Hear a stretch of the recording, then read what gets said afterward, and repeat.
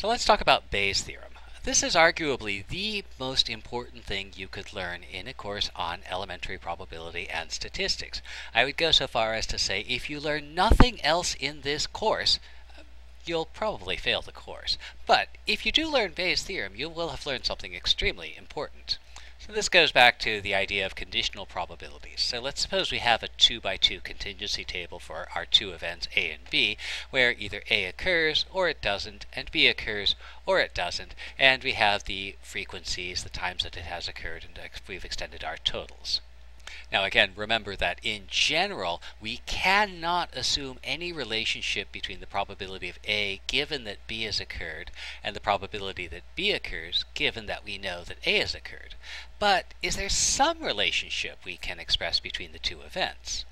And certainly there does seem to be at least some connection between the two because if we compute the relevant conditional probabilities, we find that the probability of A, given that B has occurred, so we know we're in the B occurs A plus B total cases, A has occurred A times. And so the frequency with which that occurs A out of A plus B.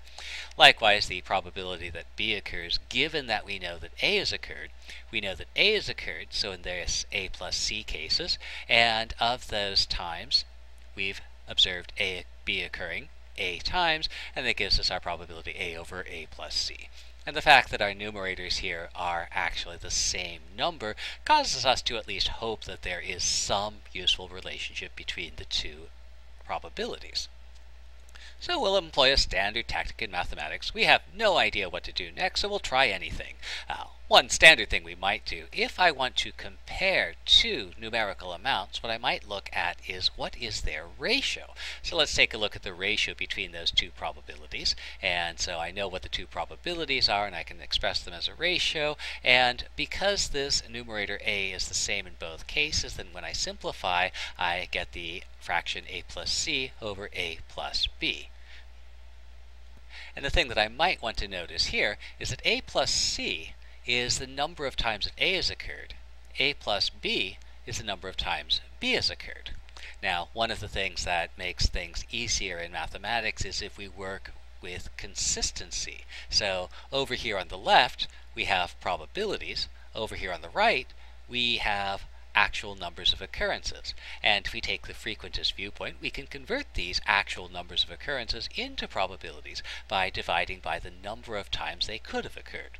So let's take a look at this. This A plus C that is the number of times that A occurred out of a total of A plus B plus C plus D times. Likewise, this A plus B, that's the number of times that B occurred out of a total possibility of, again, a plus b plus c plus d. So I can divide both by that amount, and I can recover two probabilities. Starting with the first, so this a plus c is the number of times that a occurred out of all the times it could have happened. So this is the probability of A according to our frequentist viewpoint. Likewise, this A plus B is the number of times that B occurred out of all the times that it could have occurred. And so that's just our probability of B. And we have this wonderful relationship between the two conditional probabilities that they are equal to, the ratio is equal to the ratio between the probabilities of the events themselves.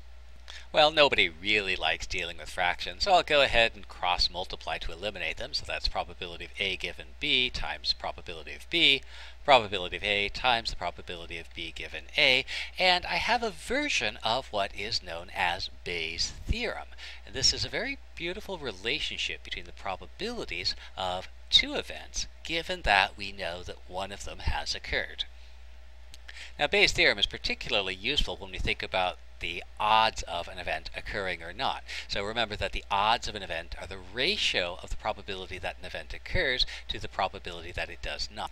So going back to my event A, I can talk about the odds that A occurs will be the quotient of the probability that A occurs over the probability that A does not occur. Now, it's useful to think about this in a Bayesian framework. So let's consider that. These are the odds, but from our Bayesian viewpoint, these are the odds based on a complete lack of any other information. And so we'll call these the prior odds. If I know nothing else, then my level of confidence that A occurs can be expressed as the odds probability of A over the probability of not A. On the other hand, suppose that I know some other event has occurred. So what if I knew that B has occurred? We can then reconsider what our estimate of the odds is, we can look at what's called the posterior odds. And these are the revised level of confidence that we have that this event A has occurred. And so we can express that this is the probability that A has occurred given that we know that B has occurred over the probability that A has not occurred given that we know that B has occurred. And at this point, we can use Bayes' theorem. So let's consider what we have by Bayes' theorem. By Bayes' theorem, we have this relationship between the probability that A has occurred given that B has occurred, and the probability that B has occurred given that A has occurred. Now, if I wanted to, I could consider a couple of different events because I'm interested in the probability that A has occurred and the probability that A has not occurred. It might be worth looking at this set of conditional probabilities. The probability that A did not occur, given that B has occurred.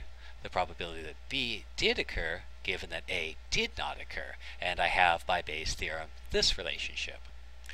So if I divide the one by the other, I get the following quotient. So the probability of A given B over the probability of not A given B, this over that, the probabilities of B drop out, and then the probability of B given A over the probability of B given A did not occur times the probability of A over the probability of A not occurring. Now this uh, rather daunting expression actually breaks down rather cleanly into three components. So let's take a close look at that. If we take a look at this fraction over here, this is the probability that A occurs divided by the probability that A did not occur, and these are just the prior odds. Meanwhile, if I look at this fraction over here, this is the probability that A occurred, given that B occurred, divided by the probability that A did not occur, given that B has occurred. And those are just the posterior odds. And then we have this expression here.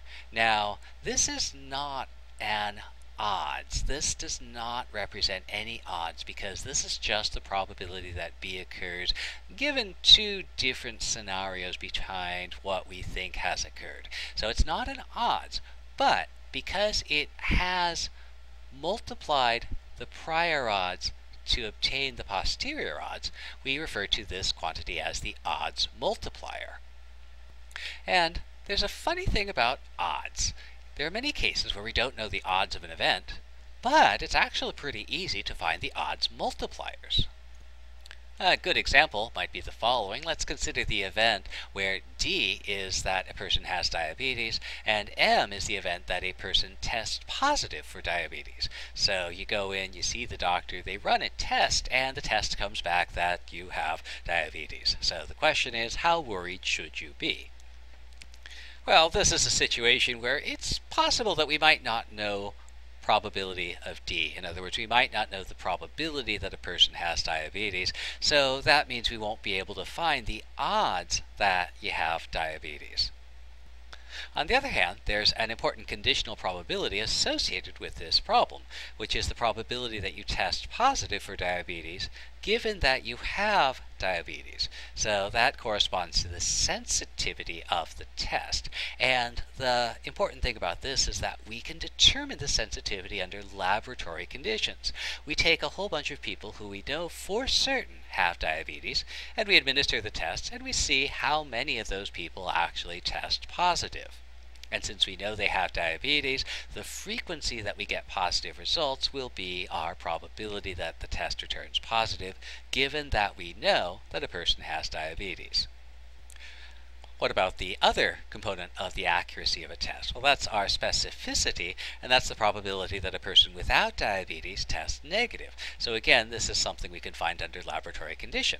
We'll take a whole bunch of people who we know do not have diabetes, we administer the test to them, and we determine how often they have a uh, negative result. And that frequency that they get a negative result is our specificity, and whatever's left over is this probability that they test positive, given that we know they do not in fact have diabetes. This corresponds to our false positives. So how does this work in practice? Well, let's consider a typical medical test for diabetes, and for example, for argument's sake, says the sensitivity of the test is 95% and the specificity of the test is 80%. So what does this give us? So first off, we could write down our relationship between the conditional probabilities and fill in the blanks. So let's see what information we have. So here again, we have our prior odds that a person has diabetes, we have our posterior odds that a person has diabetes, and then we have our odds multiplier here. So let's take a close look at that. This is the probability that a person tests positive given that they have diabetes, given that we know for certain that the person has diabetes, and that corresponds to our sensitivity 95%, so we'll drop it in there. This is our probability that a person tests positive given that we know they are not diabetic. Now, be careful with this. The specificity is the probability or the frequency that the person tests negative given that they do not have the medical condition. So if the specificity is 80%, what that says is the probability that the person will test positive even though they don't have diabetes, is going to be the remainder, that's going to be 20%. And then expressing those values in there, we have our odds multiplier, 0.95 over 0.2 works out to be about 4.5. And now we have our expression that relates the prior odds of having diabetes to the posterior odds of having diabetes. And so in words, this is the odds that a person has diabetes, given that they've tested positive, is four and a half times the odds that they have diabetes in the first place. And so that means whatever the odds were that a person had diabetes would be increased by a factor of 4.5 if they in fact tested positive.